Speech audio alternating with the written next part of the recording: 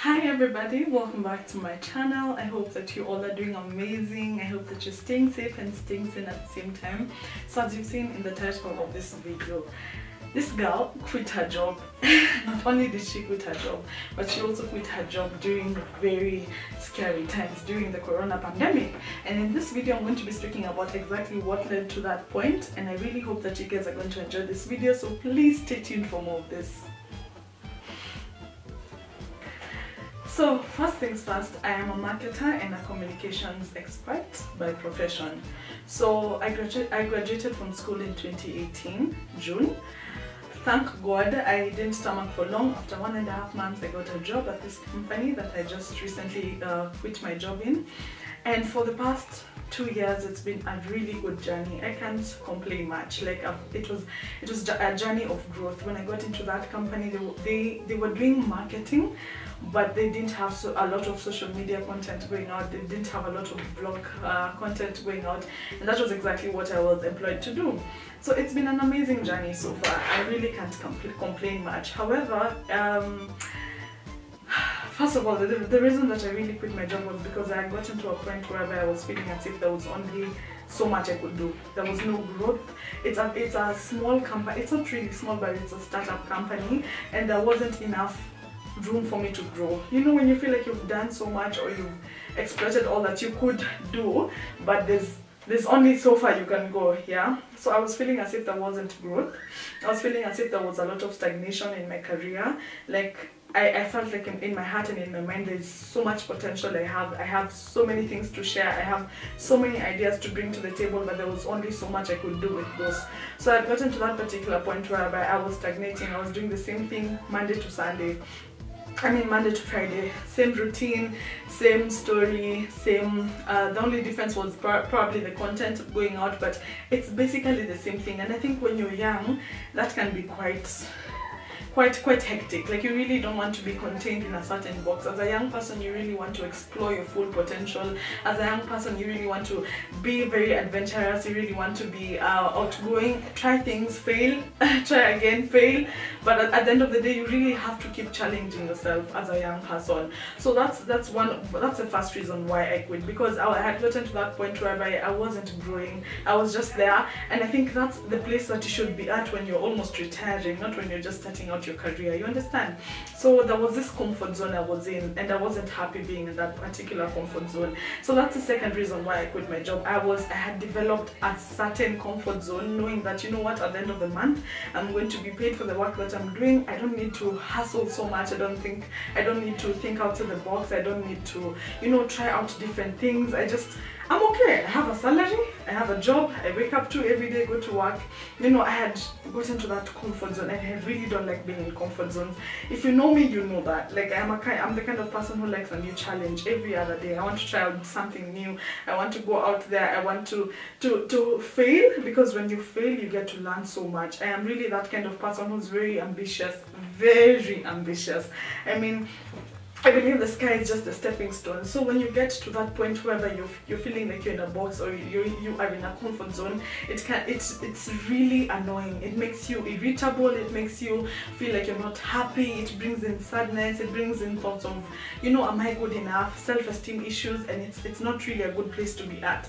So that's the second reason why I quit my job. That comfort zone was just a bit a bit much, and I think when you're young you're allowed when you're young you have all the energy you have all the enthusiasm for you to just go out there and be the best version of yourself. When you're young you're allowed to take risks. When you're young you're allowed to be crazy. You know you're allowed to wake up one day and decide you know what? I'm done. I'm done with this particular thing. Because you're young. You're just building a foundation for your future. So that's the second reason why i quit my job. Uh, that comfort zone was a bit much. And also the thing about um, you know knowing that you're fine no matter what. And that's why i think people become very complacent and mediocre when they're employed. Not everyone but some people get very complacent because they know whether i do my work or not i'm entitled to get a salary at the end of the month. So that's the second reason why i quit my job. The third reason why i quit my job was and this might be a bit personal but i really felt like my employer was not was not interested in my growth And I think this is a mistake that many employers have. And now that I am an employer, now that I, I have my own stuff going on, I am very keen on this. I think employers are very selfish. Employers want to benefit themselves. Yes, they're paying you, but hey, you're paying me because I'm bringing something to the table. You're not paying me because I just I'm, I'm just coming to the office to sit pretty. That's not why you're paying me. You're paying me because you know at the end of the, uh, day I am working and there's results that can be seen through my work. So I felt like my employer had become too selfish. It, it, it was as if they didn't want to see me grow as a brand. And I think especially in the particular occupation I'm in, in marketing and communications, as an individual, you really need to have your own brand. If you're looking to grow your career, if you're looking to advance your career, you can't just be, for example, a social media manager. You can't just be, for example, a marketing manager. What brand do you have as Sharon Ngugi? What brand do you have as whoever it is you, whoever it is who's listening to me right now? It's very important for you, especially in the 21st century. Employers are looking for people who can bring something to the table. You're not just coming to get money, you're coming to bring something to the table. And if you have your own brand, it's easier for you to bargain. It's easier for you to negotiate for higher pays. It's easier for you to negotiate for a higher position in any company. So I was very intentional since I was, since a few years ago, I have been very intentional about growing my brand on social media, on my YouTube channel, with people that I know, working, doing um, doing the most with my capabilities and with my with my strengths. So I got to that point whereby I was feeling as if they didn't want to see me grow as a person. And I keep repeating, I am very young. If you get to a place whereby you're feeling like you're being boxed or you're being suffocated, I think it's high time you just leave. And we spoke about toxic friendships in my previous video. And I'm just here to tell you that sometimes your work environment could be the toxic could be the toxic factor in your life. Sometimes if you're waking up to going to going to a place where you're always stressed, you're always sad, you're always emotional, you're always thinking about how you can get out, I think it's high time you just got the courage and left. So that's that's a third thing. I was just feeling like this person just wanted to use my my gifts and my talents for their own good and they were not concerned about my good. And also when you're working in a company whereby you don't get a lot of training, I think it can be quite draining because you see every single day things change in the marketing world, in the medicine world, in the healthcare world, in the in the energy industry, in the mining industry, things change day after day. So as an employer, it's up to you to ensure that your employees get as much training as they can. And I'm speaking about this because I have worked in the government before, I've worked, I've worked for Parastatal before, and those people are very keen on ensuring the employees are trained every other time and it's very crucial. You can't expect your employees to give you 100% if you don't invest in training them. So that's the thing. So yeah, as an as an employer, at no point should, should your employees feel as if they're slaves or as if they don't, their opinions and their views don't matter. You understand?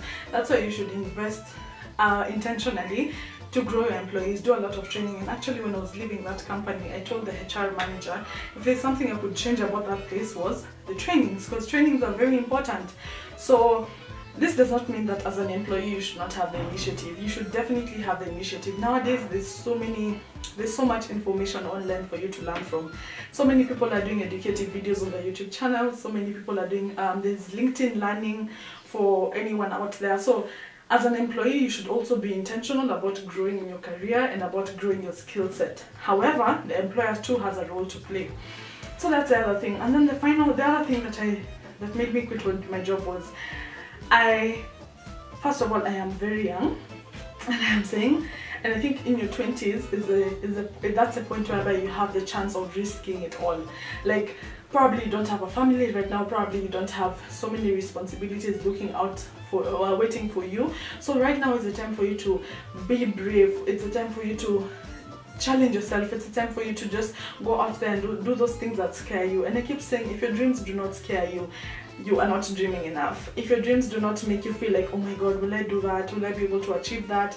Then you're not doing enough. So that's the other thing. I think I was just at that point where I decided, you know what, I really don't want to get to grow and to build my foundation upon comfort or upon being in that comfort zone. I, I hated it. I hated being in that place. I hated being in a place whereby every day you wake up, there's no new thing to challenge you. There's no new challenge in your life. So that's that's the other reason why I quit my job because I just decided, you know what, I am young, and when you're young, you have the chance to risk it all. Like so, I'm just talking to you out there.